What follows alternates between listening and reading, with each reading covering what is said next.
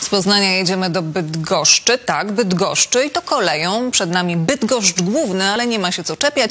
Byli już tacy, co mieli problem z Bydgoszczem i rozważali, czy w Bydgoszczu zamieszkać.